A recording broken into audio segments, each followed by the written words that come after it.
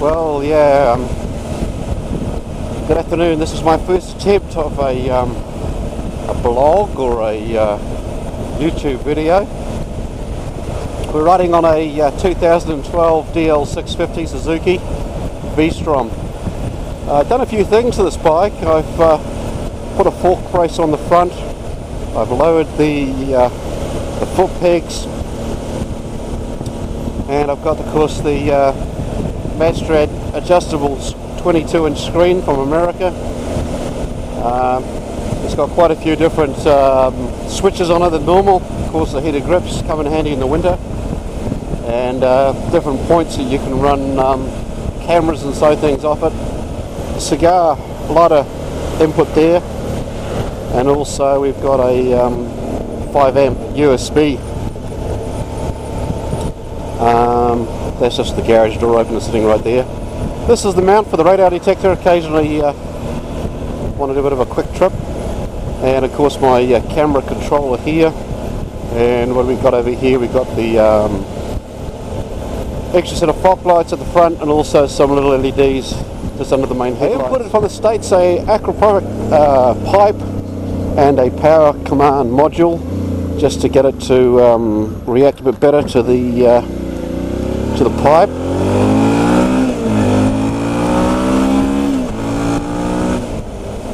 I bought it with 3,000 Ks on the clock and now it's done uh, 16,502 kilometres.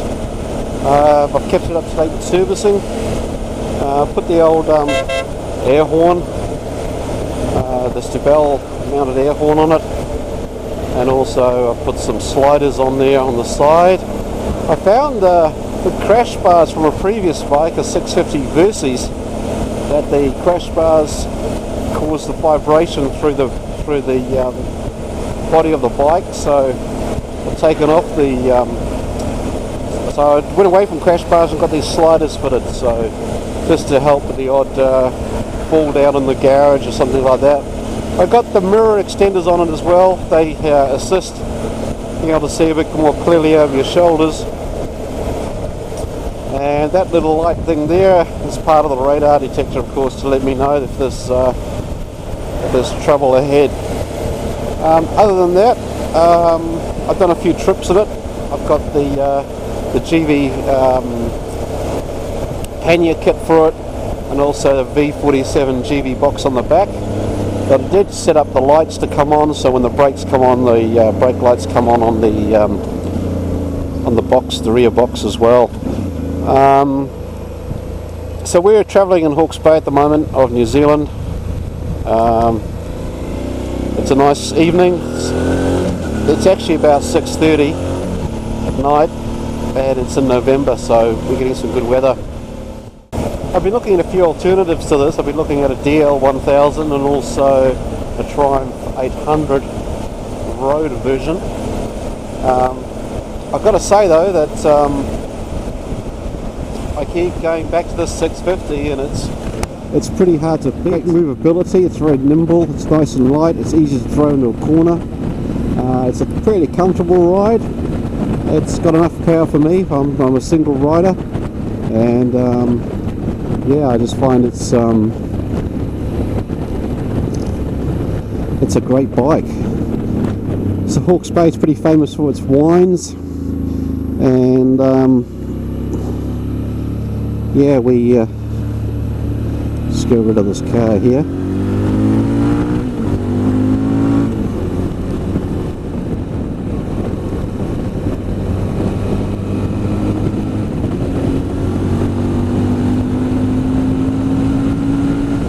It's got a lovely sound that pipe, you know, it really um, gives a nice clean crisp sound and uh, as I say loud pipe saves lives but um,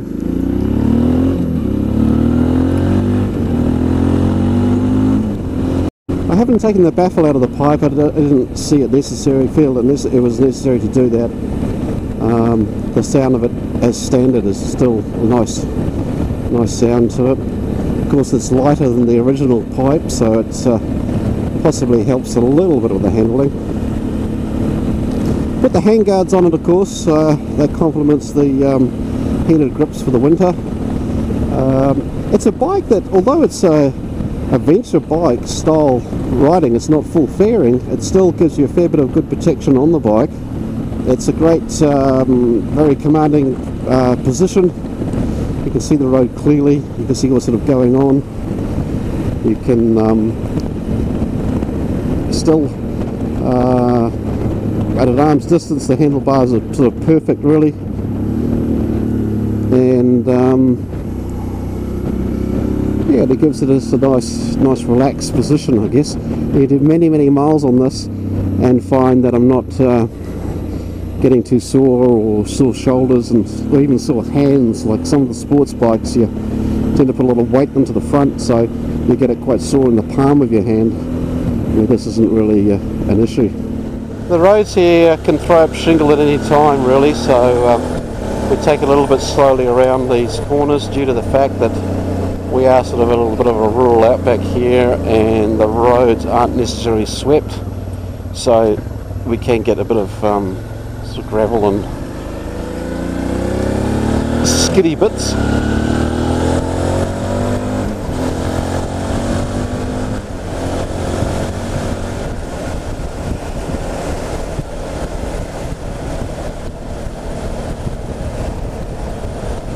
thought I'll just pull over somewhere and um, show you the bike um, just so you can get an idea of what few extras I've got on. In fact, this looks a pretty good spot right here. If I can just duck across here. Yeah, this is pretty good right here. The larger platform for the um, bike stand there, I put a centre stand on it. And the sliders here and here. Uh, this little uh, toolbox I got from the States, that's a good idea carrying bits and pieces extra and there's my Monokey frames ready for the panniers to go on the side if I go into a bit of a tour with it. Um, the Stebel uh, air horn of course is sitting just nicely in there, the, the bracket I got from the States to fit that on. Um, so at the front here you've got the uh, Ventura headlight covers and of course the extra fog lights with the nice little brackets. They came out from Australia, those brackets. So the adjustable um, windscreen's good, and this little um, uh, fitting at the front here with the 25mm knob on it, ready again to accommodate a GPS. You can plug it straight into there, or can chuck my phone onto there. I've got some phone brackets to go on to here as well if I need to as well. Um, the tyres I put on were Pilot 4 tyres the trail version. These little brake lights are pretty pretty bright. I don't know if you've able to see in the daylight or not, but um, um, yeah, they sort of sit there and they they and then when the brake lights come on, of course, these really light up like super bright, and these light up as well. I guess due to the fact that um, there are some accidents out there, of course, that uh, that um, can be caused by people coming up and hitting you from behind. So that's it with its lights all sort of going. I'm sort of into visibility so these idiots can see us um, coming. Skirt on, although it's only plastic.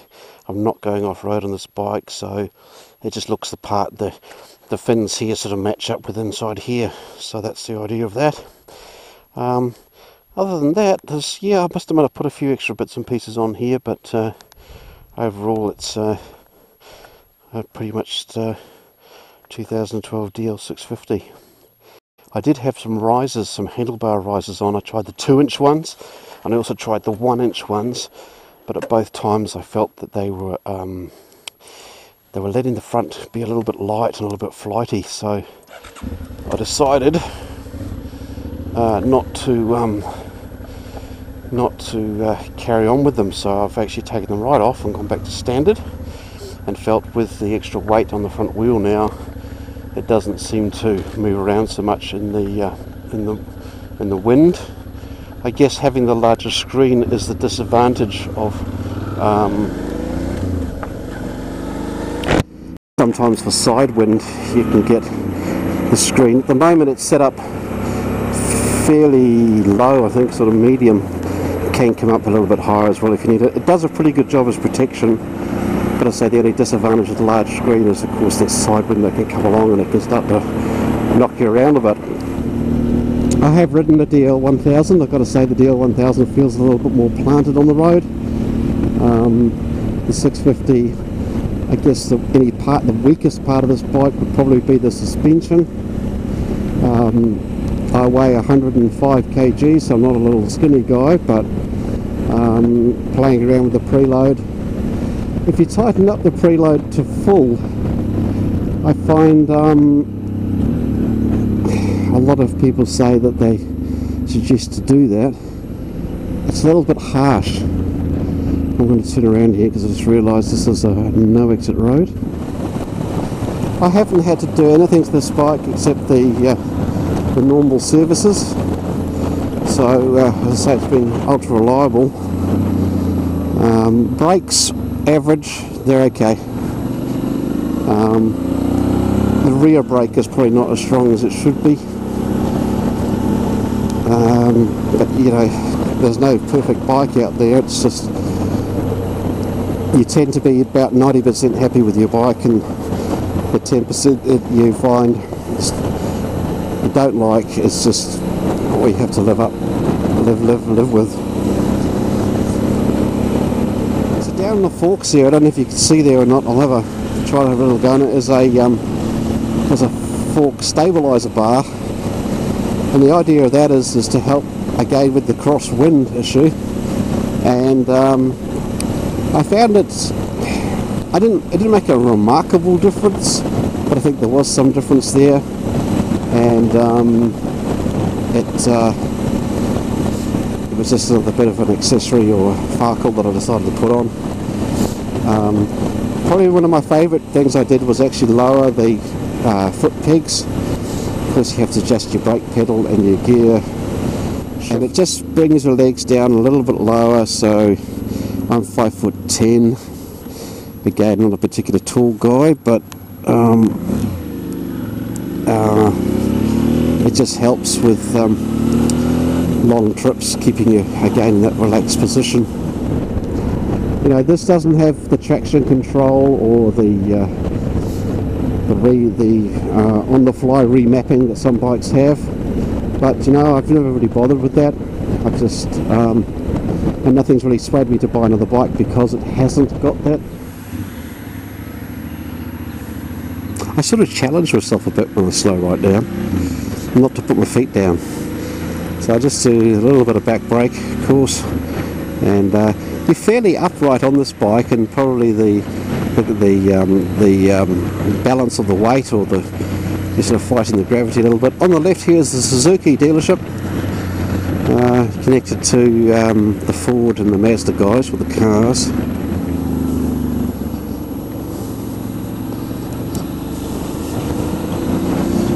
And this street is called Heretaunga Street and Heretaunga Street is the I guess the main main street of, of Hastings.